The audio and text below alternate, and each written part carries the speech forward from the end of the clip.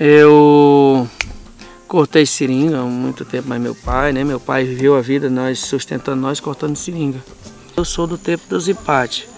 É, a gente viveu um, um, período aqui que era triste, né? Na época a gente estava é, sendo expulso das terras nossas, né? E ali quando o pessoal se mobilizava, a, às vezes a minha mãe ficava chorando, nós é pequeno. O pai da gente ia para os empates, para aquelas organizações escondidas. Era vendo a hora ser morto, né? Pelos caras nas tucaias. E isso foi uma vida que a gente passou um momento difícil. Nossos produtos não tinham valor nenhum, porque era vendido para o patrão, para o marreteiro. Ele comprava, outro não comprava. A gente tinha muitas doenças, a gente não tinha essa qualidade de vida que nós temos, uma liberdade muito pouca.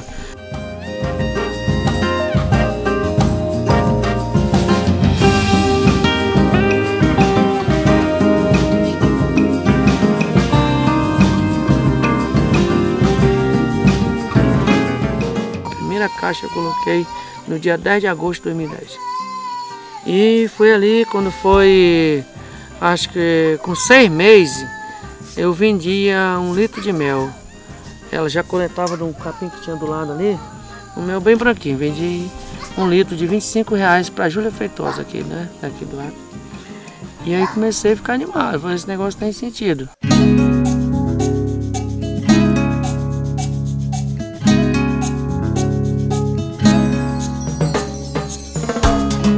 Cheguei, a minha renda em 2015 chegava aí é, 5 mil e agora em 2016 cheguei a 5.500. Então é a renda assim boa. E agora eu tô também, é, consegui meu carro, tem um parte aí de mais de 2 mil reais só de mel.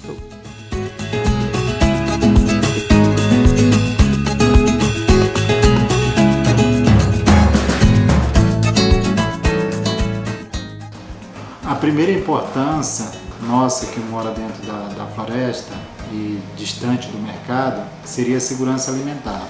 Nem todos os locais nós temos água abundância ou peixe abundante para pesca e aí no próprio instante que você tem um criame, você já tem a garantia da, segunda, da segurança alimentar. A segunda importância é que o excedente você já transforma aquilo em renda. E hoje eu já consigo é, ter esses dois resultados, tanto ter melhorado na segurança alimentar quanto na questão da renda. E eu posso dizer que hoje 90% do peixe que eu comercializei foi lá no local, ou seja, não tive nem custo de transporte. E posso afirmar que hoje está me dando de renda por ano, só nesse tanque, em torno de 8 mil reais. E moro aqui nesse lugar é porque gosto, porque amo, porque eu adoro a floresta. Por isso eu hoje, para mim tudo, tudo que eu tenho, que eu ganhei foi bem de quê? Da floresta.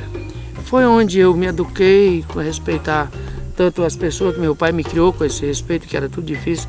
Era, na época não tinha negócio de aula, era o cara que mandava o, o recado e você tinha que fazer. Você tinha que andar com medo de noite e de dia, mas tinha que dar o recado e ter responsabilidade que faz.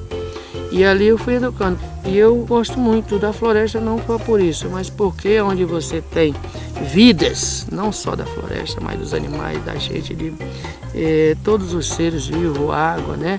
Esse gás carbônico que consome, esse ar gostoso.